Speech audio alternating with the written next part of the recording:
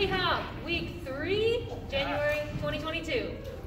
We reviewed a bunch of stuff that we did last time, and we did some little combos.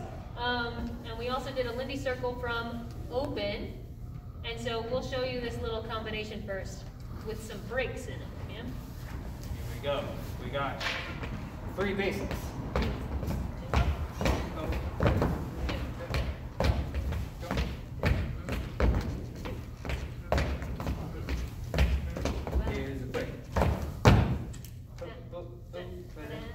And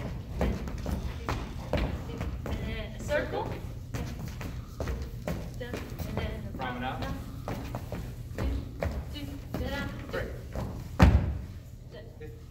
And then we can do it again. We talked about moving around a little bit with our basic.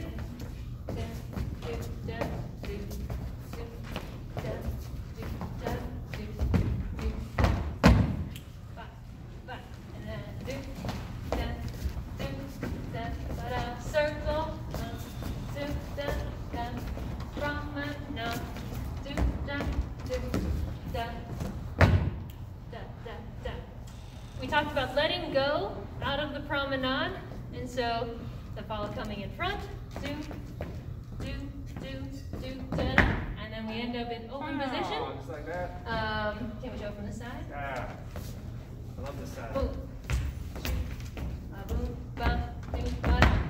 So what's happening there is the follow is moving the same way that they do in a promenade, but then the lead, instead of coming to the side, is staying where they are to create So that doing space. some groovy stuff and then tripling back just a little. Yeah, and then we did a Lindy circle from open position.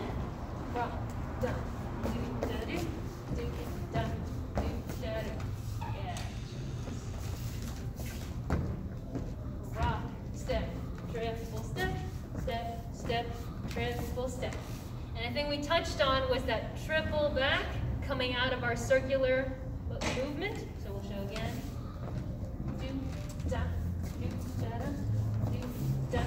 Triple as a way, a nice way to absorb that momentum. So that's taking your hip, traveling back, traveling back.